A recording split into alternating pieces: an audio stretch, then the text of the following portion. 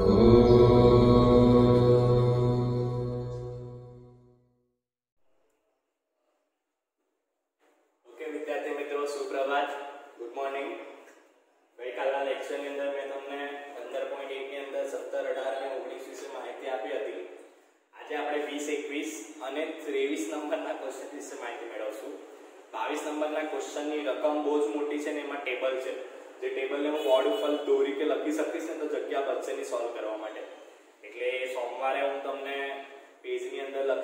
લખીને બરાબર છે?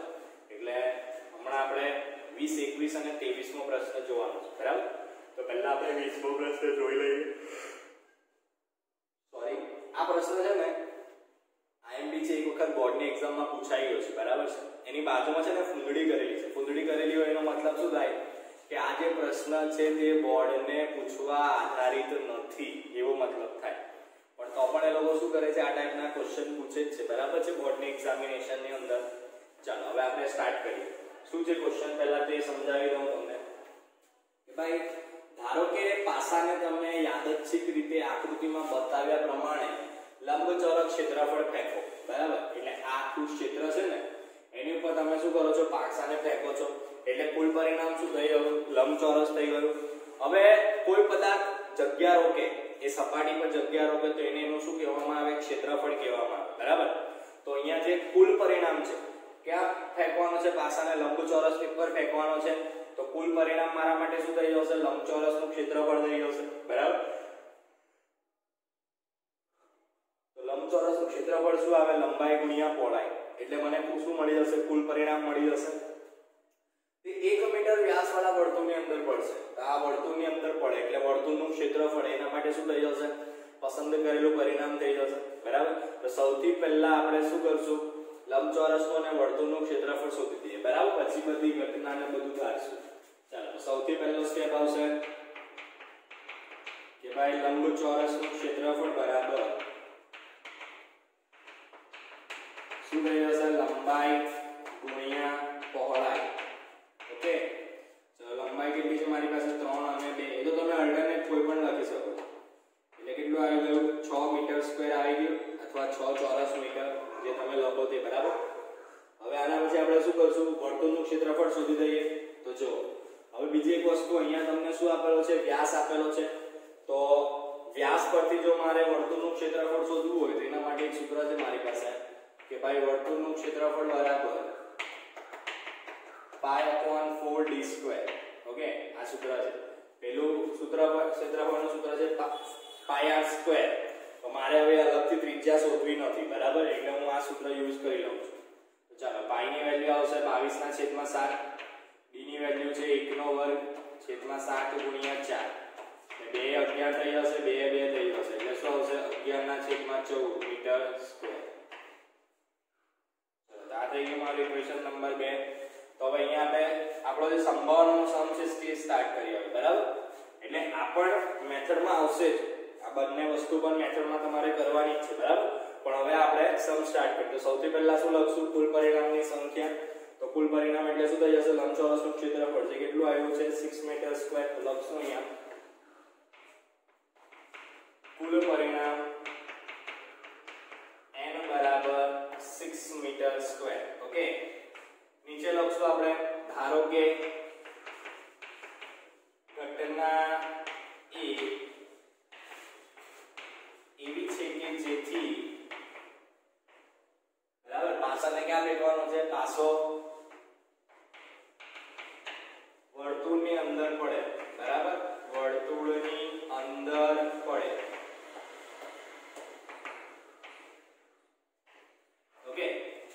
લખશું માટે તેના પરિણામોની સંખ્યા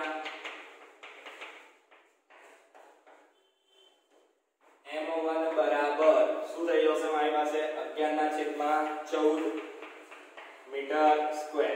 ચાલો સંભાવના શોધી પ્રોબેબિલિટી તો p of a is two to m1 upon n. 11 ના છેદમાં 14 ના છેદમાં 6 તો 11 ના છેદમાં ચૌદ ગુણ્યા છ આ નીચે આવી જશે છેદમાં ચાલો કેન્સલેશન તો કઈ થતું નથી.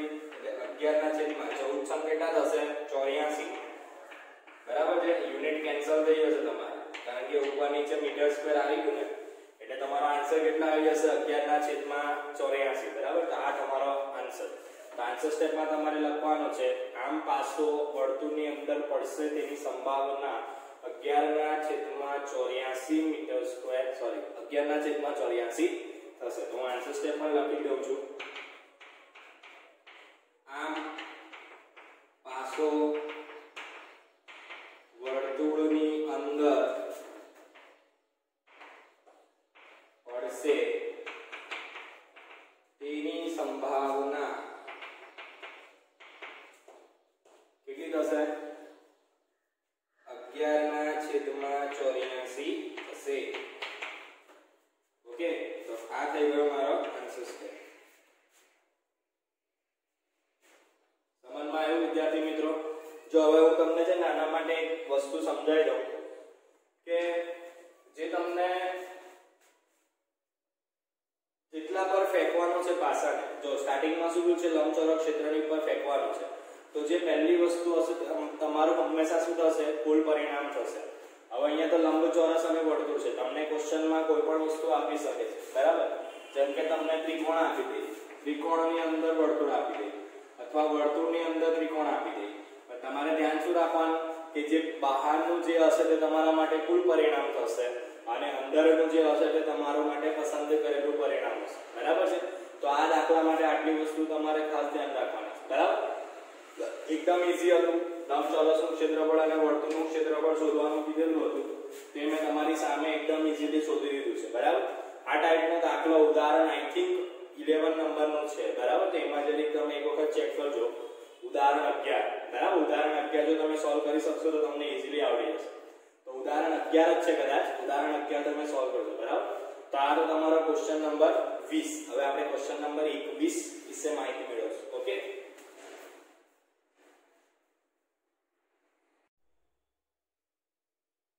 ઓકે વિદ્યાર્થી મિત્રો હવે પ્રશ્ન નંબર 21 વિશે માહિતી મેળવશું જેમાં આપણને કીધેલું છે કે ભાઈ એક જથ્થો 144 સોરી 144 બોલ પેન ધરાવે છે તેમાંથી 20 ખામીયુક્ત છે હવે જો 144 બોલ પેન છે એમાંથી 20 20 ખામીયુક્ત છે એટલે 144 માં આપણે પ્લસ 20 નથી કરવાના. બરાબર? એના માટે? કુલ પરિણામ માટે. કુલ પરિણામ આપણને ઓલરેડી આપી રહ્યા છે કેટલા છે? 144 તો લખી દઉં છું અહીંયા. કુલ બોલ પેનની સંખ્યા n બરાબર 144 ઓકે? આટલું સમજ પડી ગઈ? પછી શું કીધું છે? તેમાંથી 20 ખામીયુક્ત અને બાકીની સારી છે. તો 20 ખામીયુક્ત એટલે સારી કેટલી થઈ ગઈ? 144 માંથી 20 બાદ કરો એટલે 124 પેન કેવી છે? સારી છે, બરાબર? આગળ વાંચીએ. જો પેન સારી હશે તો નૂરી પેન ખરીદશે હવે જો પેન સારી હશે તો નૂરી પેન ખરીદશે ને ખરાબ હશે તો નહીં ખરીદશે બરાબર? તો દુકાનદાર યાદચ્છિક રીતે એક પેન કાઢે અને તેને આપે છે અને તે પેન કેવી હોય? તે પેન ખરીદશે ને તે પેન નહીં ખરીદે તેની સંભાવના શોધવાની છે, બરાબર? તો ચાલો, પહેલા ઘટના એ લઈ લઈએ તે પેન ખરીદશે એના માટે તો લખશું અહીંયા. ધારો કે ઘટના એ એવી છે કે જેથી નુરીબેન પેન ખરીદશે નુરી પેન ખરીદશે ઓકે તો લખશું નીચે માટે હવે નુરી પેન ક્યારે ખરીદશે જ્યારે પેન કેવી હોય ખામી રહિત હોય તો નીચે લખશું માટે ખામી રહિત પેનની સંખ્યા m1 બરાબર કેટલી થઈ જશે ટોટલ 144 છે એમાંથી 20 ખામીયુક્ત છે એટલે 144 માંથી 20 મારે માઇનસ કરવા પડશે એટલે મને કેટલી મળી જશે 124 ચાલો તો હવે આની આપણે સંભાવના શોધી દઈએ ઓકે તો નીચે લખશું માટે p ઓફ a બરાબર m1 ના છેદમાં n. એટલે m1 કેટલું છે? 124 n કેટલું છે? 144 બરાબર ચાલો, હવે ભાગાકાર કરી કટિંગ કરીએ. 2 6 12 2 દુ 4 2 સતામ 14 2 દુ 4 2 31 2 36 હવે આનાથી વધારે આગળ કેન્સલ નથી એટલે આ તમારો આન્સર આવી ગયો. તો માટે p ઓફ a શું થઈ જશે? 31 ના છેદમાં 36 ઓકે? તો સમજ પડી ગઈ પહેલું. ચાલો બીજા માટે જોઈ લઈએ. બીજું શું કીધેલું છે? જો, એક પેન ખરીદશે અને બીજું પેન નહીં ખરીદશે. તો એ બંને એકબીજાની કેવી ઘટના થઈ ગઈ? પૂરક ઘટના થઈ ગઈ. તો તમારે આ રીતે સોલ્વ નહીં કરવું હોય ને તમે ડાયરેક્ટ પેલું સૂત્ર યુઝ કરી શકો. P of a plus p of a bar is equals to 1 બરાબર છે? એ રીતે પણ કરી શકો. પણ આપણે આ મેથડ ધ્યાન રાખવાનું છે. શું લખશું? કે ભાઈ ધારો કે ઘટના b એવી છે કે જેથી નૂરી પેન ખરીદશે નહીં.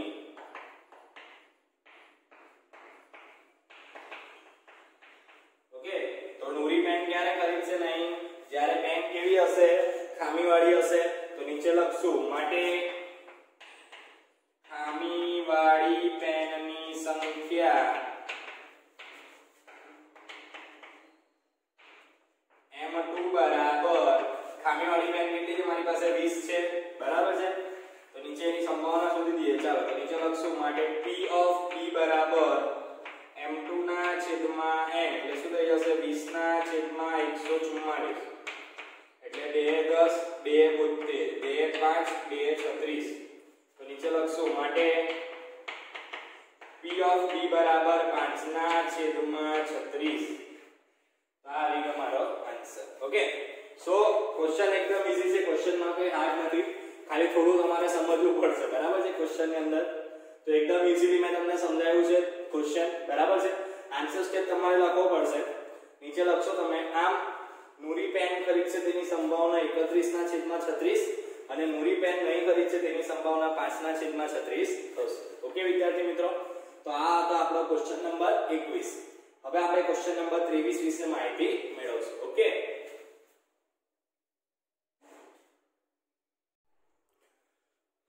વિદ્યાર્થી મિત્રો સમ સ્ટાર્ટ કરતા પહેલા એક માહિતી હું તમને આપી દઉં. મેં હમણાં જ જસ્ટ ક્વેશ્ચન નંબર 22 અને ક્વેશ્ચન નંબર 25 ની ક્વેશ્ચન રીડ કર્યા છે. એ ક્વેશ્ચનમાં એટલું કંઈ ખાસ લેવાનું નથી અને ક્વેશ્ચન પૂછાતા પણ નથી. બરાબર છે? બોર્ડની એક્ઝામમાં તો એ જ્યારે આપણો રેગ્યુલર લેક્ચર સ્ટાર્ટ થશે ને, ત્યારે હું તમને સમજાવી દઈશ. બરાબર છે? એટલે હમણાં મેં એક વધારાનો ક્વેશ્ચન એડ કરી દીધો છે ક્વેશ્ચન નંબર 24 એટલે જેથી તમારો મહાવરો 15.1 અહીંયા શું થઈ જશે કમ્પ્લીટ થઈ જશે. બરાબર? સોમવારથી આપણે શું કરશું? મહાવરો 15.2 સ્ટાર્ટ કરી દઈશું ઓકે વિદ્યાર્થી મિત્રો? તો આ બાબત ખાલી ધ્યાન રાખજો. હવે પ્રશ્ન નંબર 23 જોઈ લઈએ. પ્રશ્ન નંબર 23 માં આપણને કીધેલું છે કે ભાઈ, એક રમતમાં એક રૂપિયાના સિક્કાને ત્રણ વાર ઉછાળવાનું છે. બરાબર? શું કીધું છે? કે ભાઈ, એક રમતમાં એક રૂપિયાના સિક્કાને ત્રણ વાર ઉછાળવાનો છે. તો પહેલા એના માટે કુલ પરિણામ જોઈ લઈએ. મેં તમને કીધેલું હતું, જો એક સિક્કાને ત્રણ વખત ઉછાળવાનો હોય અથવા ત્રણ સિક્કાને એક સાથે એક વખત ઉછાળવાના હોય તેના માટે તમને સૂત્ર લખાવેલું સિક્કા માટે 2 ની n ઘાત. કેટલી વખત ઉછાળવાનું છે? ત્રણ વખત. એટલે 2 ની 3 ઘાત. એટલે કેટલા પરિણામ આવશે? 8 પરિણામ આવશે. તો એ લખી દઈએ અહીંયા.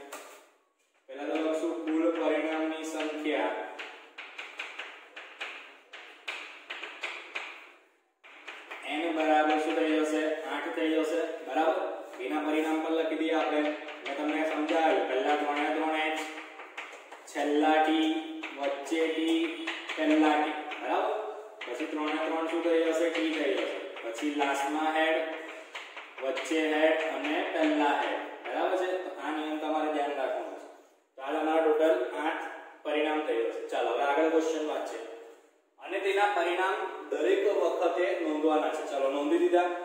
જો તમામ વખત ઉછાળતા સરખું પરિણામ મળે, સરખું પરિણામ એટલે શું? બંને પર 3 3 પર હેડ આવે અથવા 3 3 પર ટેલ આવે.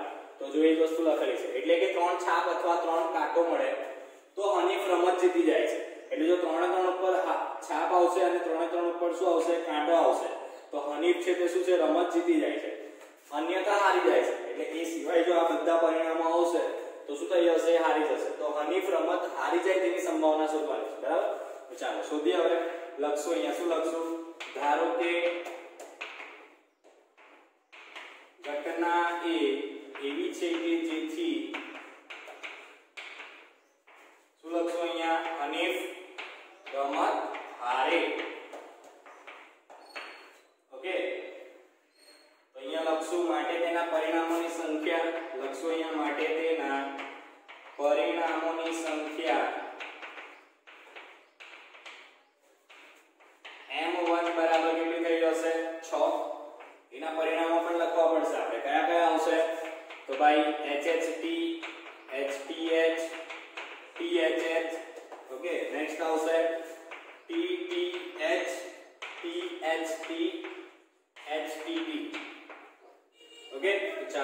સંભાવના શોધી દઈએ માટે P ઓફ A બરાબર શું થઈ જશે?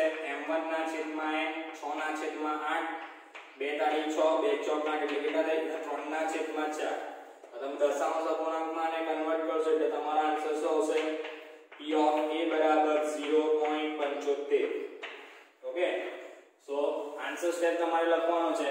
આમ હનીફ રમત હારે. ચાલો એ પણ લખી દઉં છું. આન્સર સ્ટેપ જગ્યા છે મારી પાસે. શું લખીશ અહીંયા આમ, હનીફ રમત હારે, તેની સંભાવના. 0.75 છે. ઓકે? આ થઈ ગયો તમારો આન્સર એટલે હંમેશા ધ્યાન રાખવાનું છે કે જ્યારે પણ છેદમાં બે અને પાંચની આધાર આવશે ત્યારે તમારે એને કમ્પલસરી દશાંશ અપૂર્ણાંકમાં કન્વર્ટ કરવું પડશે.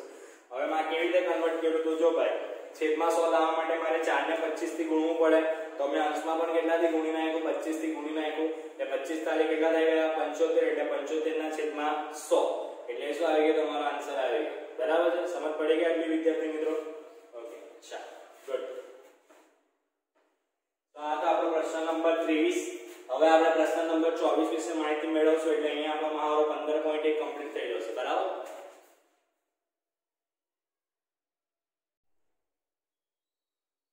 ઓકે વિદ્યાર્થી મિત્રો, તમને ક્વેશ્ચનમાં એવું કીધું છે કે ભાઈ, તમે જો પાસાને બે વખત ઉછાળવામાં આવે, બરાબર? તો પાસાને બે વખત ઉછાળવાનું છે.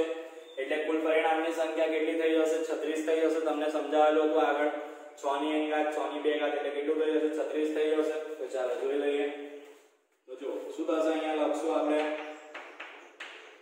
કુલ પરિણામ. ની સંખ્યા n બરાબર 36 ઓકે? તો પરિણામ મારે લખવા પડશે બધાના. તો ચાલો, પરિણામ લખી દઉં છું પહેલા તો. અને ત્રણ ભાગ કરી દઉં, કારણ કે ક્વેશ્ચન મારી પાસે ત્રણ છે. બરાબર? ચાલો. તો આપણે પરિણામ લખી દઈએ હવે. તો શું લખાશે? 1 1 1 2 1 3 1 4 1 5 1 6 સેમ એવી રીતે. 2 1 2 2 2 3 2 4 2 5 2 6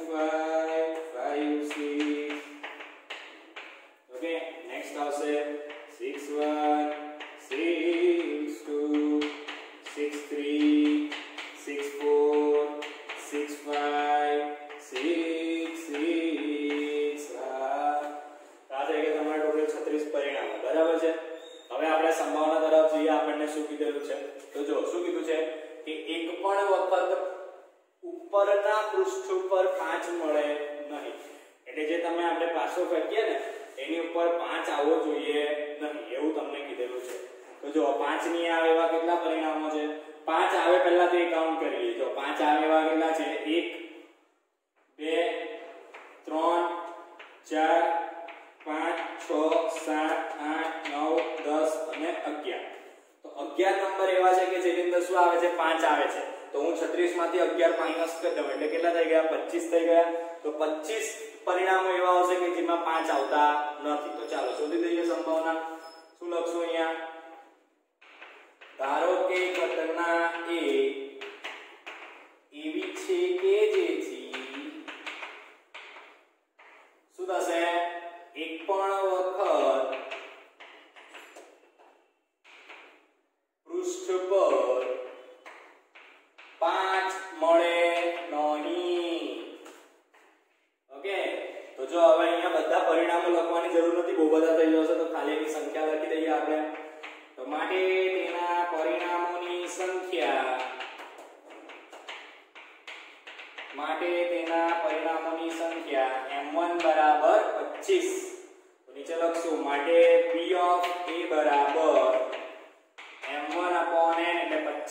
છેદમાં 36 બરાબર?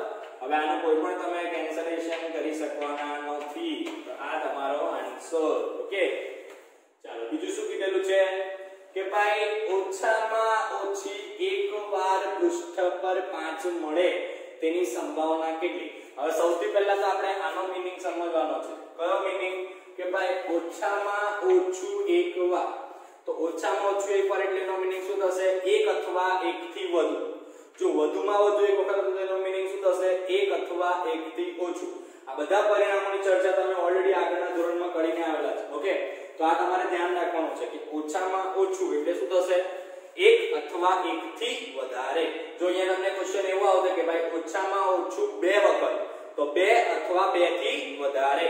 તો જો ઓછામાં ઓછું એક વખત એટલે એક અથવા એક થી વધારે, તો અહીંયા વધારેમાં વધારે બે વખત જ છે પાસા ઉપર.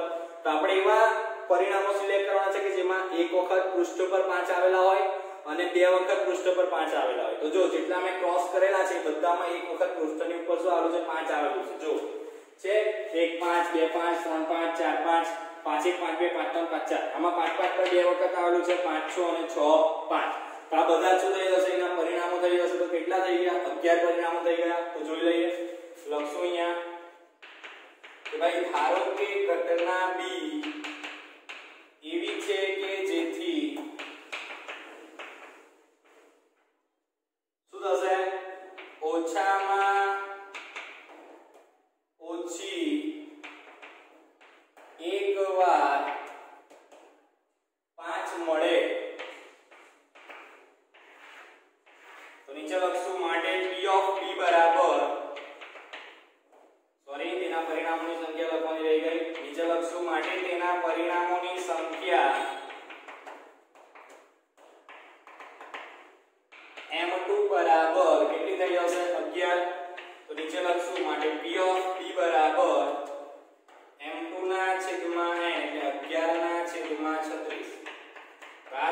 તમારું p ઓફ b ઇટ તો નીચે આન્સર સ્ટેપ તમારે લખી દેવાનો છે.